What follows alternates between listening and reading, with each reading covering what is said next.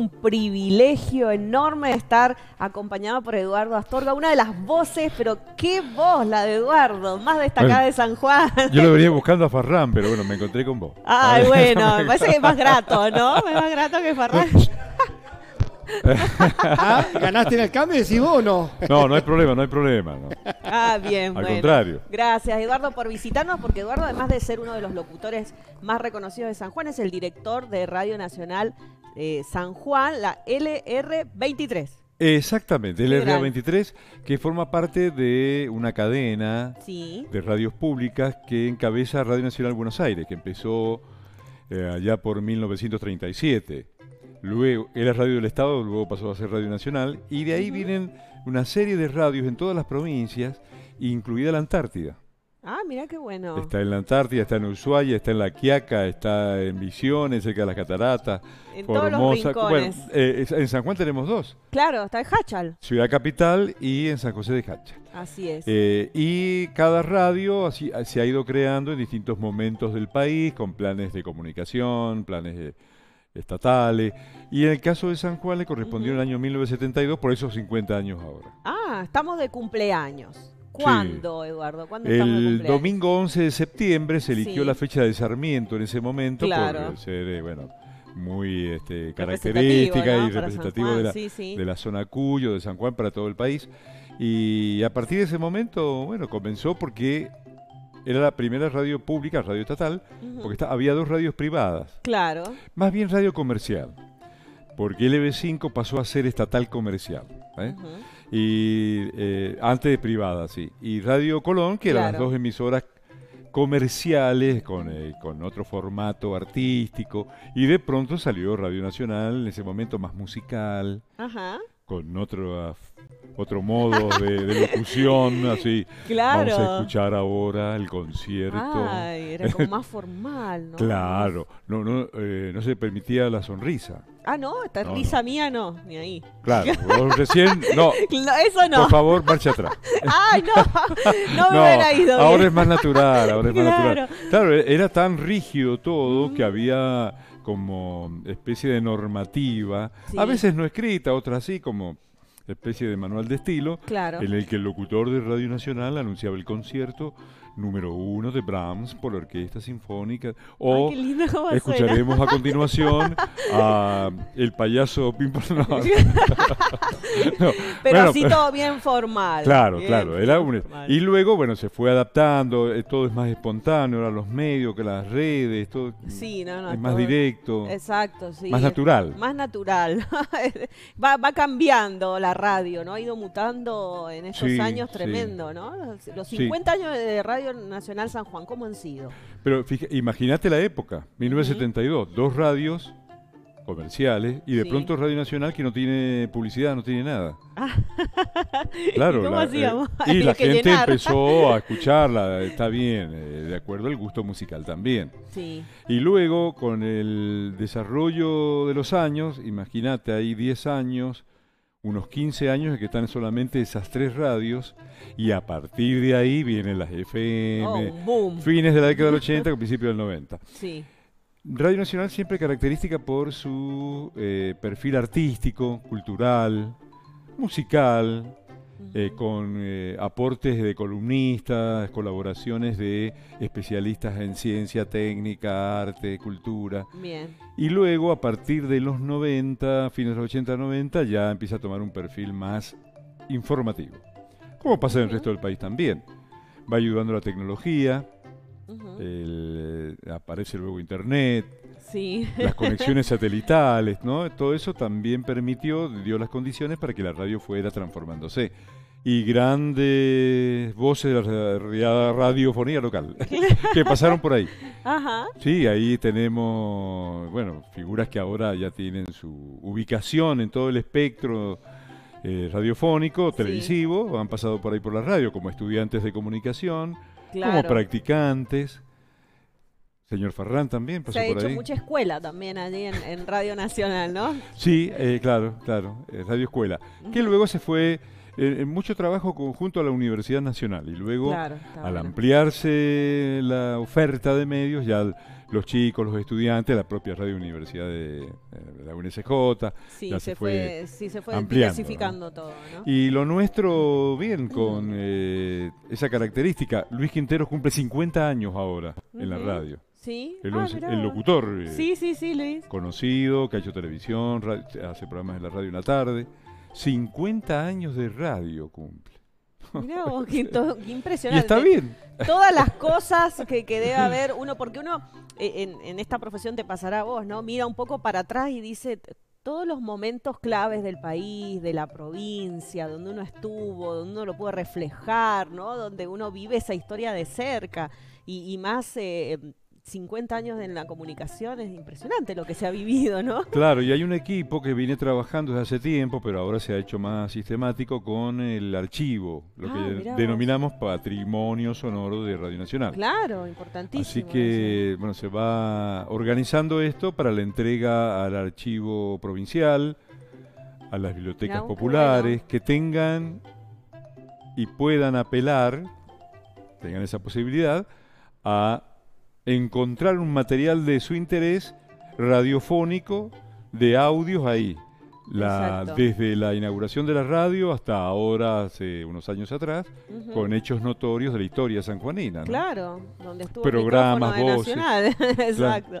Y ahora, en, en esta época, vos dijiste las redes, internet, multimedios, multiplataformas. ¿Cómo, cómo se ha readecuado Radio Nacional para estar a, Sí. ayornada a esto? Y ¿no? mira, antes era la FM y la M. Hay una característica con eso, porque la FM servía de enlace entre estudios centrales en Ignacio de la Rosa y Rioja, Ajá, con planta transmisora en Benavides, pasando la cárcel. ajá, Antes de Villa Observatorio está la planta transmisora. bien. Para el enlace estaba la eh, un transmisor de FM.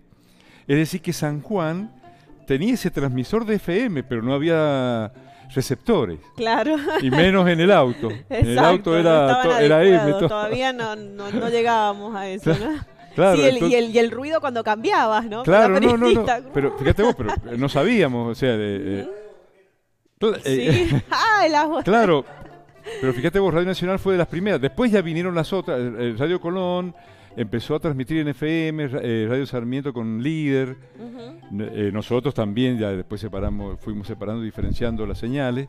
Y en el caso de Nacional eh, San Juan, eh, ese, es, ese perfil ¿no? tan notorio en la audiencia como identificándonos con una radio propia, porque no nos olvidemos que una radio del Estado también, Sí, ¿no? sí. Radio Pública, Radio Nacional, Radio del Estado. ¿Y LRA qué significa? La Radio Argentina. Ah, mira qué bueno. bueno el. LRA, 1 LRA. 23 en este caso, fuimos la 23. Ahora ya se va por la 50 y tanto.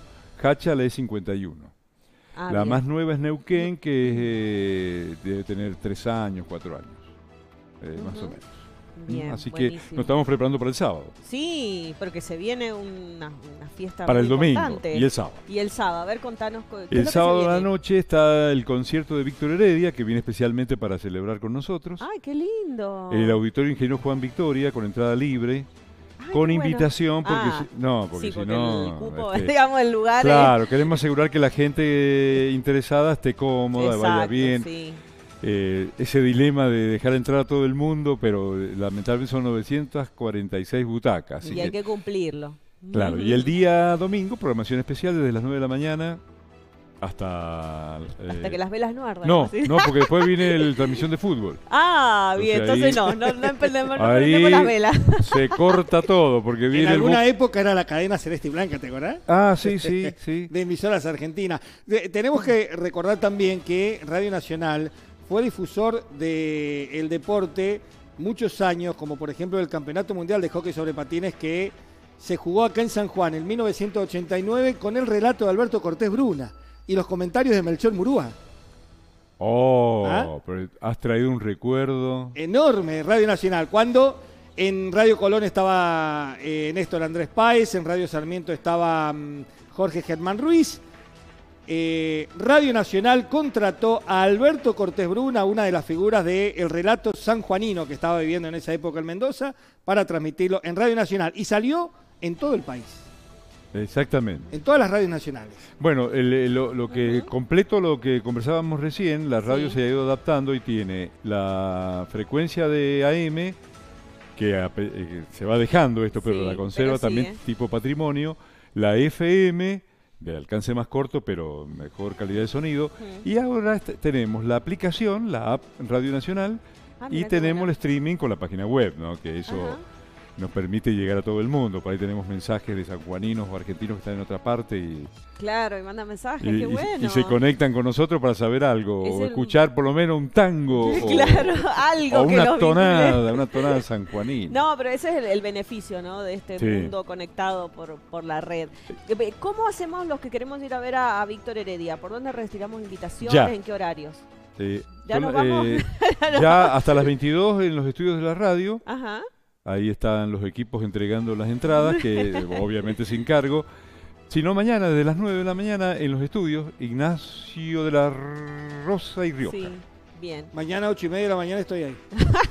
No, eh, 9, No, de la mañana. partir de las No, 9, me importa, ocho y media estoy haciendo cola. Bueno, puede ir a tomar un matecito. Bueno, claro, ¿me vas a invitar? ¿Ah? No, pero cada uno con su mate. Claro, hay que mantener todavía los Contame de los estudios. ¿Esos son estudios propios? ¿Qué- qué- Hay historia con esos estudios. Claro, porque al comienzo la Secretaría de Comunicaciones del Estado Nacional eh, tenía a su cargo el correo argentino Sí, y lo que era todas las radios nacionales. sí. ¿Mm? Estaban en unas, lo que es ahora Radio Televisión Argentina, donde está la televisión pública, el viejo Canal 7, Sí. y las radios nacionales. Claro, en ese momento el correo era eh, afín a la radio y se trataba de instalar donde fuera una radio nacional en el edificio del correo que tenía espacio. Bien. Claro. Así que por eso estamos ahí. Es un comodato. Está Es bien. un comodato hay que leer. Pero ya quedó, quedó y quedará Sí, sí. definitivamente. Sí, sí, ¿Ah? sí, ahí está. Eduardo, y la, pro- la programación del domingo, ¿van a estar todos los programas que transmiten en la semana? ¿Cómo va a ser? ¿Qué es lo que han Sí, organizado? sí, sí. Va a estar Luis Quinteros con sus 50 años de carrera. Va a estar eh, Gustavo Martínez Quiroga, el nuestro, el Gustavo Martínez. Sí. De, El conocido por todos. de 11 a 12 en un programa especial para todo el país. Por Ah, los qué 50 años. Vamos a salir en, en No toda la cordillera, en toda todo. la costa marina, en la selva, en la Antártida, en todos lados, en la Patagonia.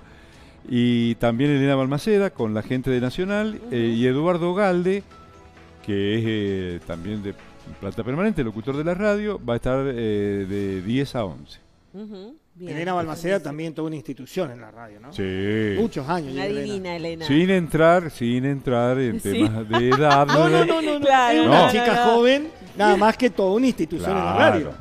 ¿Ah? Eh, claro, muy bien, muy bien la aclaración. Se ve que es periodista. Salió del En brete. cambio, Quintero tiene sus años. Quintero Claro. tiene sus años. Sí, 50 años. No, pero eh, hay personal de más de 30 años. ¿Sí? Ah, mira Sí, qué bien. sí. Bueno, en el caso mío tengo 38. Trabajando en Mira equipo. vos. 38 años de trayectoria, así que Qué imagínense. bien. ¿Y todos de planta permanente? ¿O, o se manejan con No, no. contratos? ¿Cómo es el tema? Eh, eh, todos los nombres que estamos hablando profesionales, planta Sí. permanente. Hay Sí. algunos incorporados a comienzo del 2010, 2012, Ajá. que entraron por concurso, eh, personal de periodístico, de operadores, o sea, técnicos, que son más nuevos. Claro. Y, y se dispone también de contratos que, eh, bueno, está más Está bien. acotado eso. Está bien. está bien. Bien. Bueno, Eduardo, entonces repetimos. Mañana desde las 9 a buscar la invitación, La invitación. para Víctor Heredia el sábado en el auditorio. Quedan pocas, ¿eh? Solo con invitación. Uy, nos tenemos Quedan que ir a acampar. Me sorprendió, me sorprendió porque para mí, claro, por mi trayectoria radiofónica, medial, para mí Víctor Heredia ya, bueno, es de nuestra generación. Claro. Claro. Pero me ha sorprendido. sí, tiene mucha repercusión. Además de jóvenes, gente sí. de nuestra edad o más joven, Sí. van más jóvenes, más jóvenes. También, Claro. así que- Así que hay que apurarse. O sea, A más jóvenes que nosotros ya son niños. ¿Ah? habla por usted. Claro. No, Raúl. Mira, eh, vas a tener que ir, como decíamos, a acampar, Raúl, porque te vas a quedar sin la entrada. No, yo mañana ocho y media, no digo ocho y media, siete y media de la mañana estoy. Cada vez más temprano. Sí. ¿Va a ir solo o acompañado? No, por el momento solo. Ah, solo. Sí, porque voy a Bueno. llevar el mate, pero vos vas a poner todo lo otro. No, al pero concierto. ¿Al concierto? No, al concierto me vas a tener que dar dos o tres. Ah, Ah, bueno, bueno. No, Sí, no, sí. no, son dos por persona. por Raúl, persona, bueno, listo, dos. Claro, Claro. claro. Yo y mi Solo dos. Y bueno, viene con todo su conjunto, su grupo habitual, Víctor Heredia, y en la previa va a estar María Julia Sánchez, nuestra voz femenina, cantante de música folclórica regional, tonadas, cuecas, eh, nuestra representante, digamos. Claro. Va a estar ahí. Un sello, para darle un sello sanjuanino también al, al evento. Buenísimo, Eduardo. Bueno, no te voy a felicitar desde ya porque dicen que es mala suerte. Ah, Pero ¿sí? que Ah, éxitos para sí, por el cumpleaños. No importa, éxitos para el sábado y para el domingo Bueno. en la transmisión. Estaremos a- acompañándolo seguramente porque es un- una gran institución Radio Nacional. Mucho cariño a los colegas también. Y bueno, todos lo, todo lo bueno que esté por venir para ustedes allí. Bueno, muchas gracias. La verdad que a veces uno toma dimensión de dónde está, ¿no? Porque es toda una institución, ¿no? Exacto, sí. que sí, sí. trasciende a que sea del Estado, que eh, es propia de San Juan, además. Vivió con San Juan 50 años. Claro, nada más y nada menos. Ya se hemos pasado hitos. Bueno, muchas gracias por Bueno, visitarnos, gracias. Eduardo. Eh, Raúl, dime, ¿qué hacemos? Bueno, vamos a la pausa, ¿te parece? Vamos, vamos. Pausa en dinámica y, y en un ratito seguimos con más información. Ya volvemos.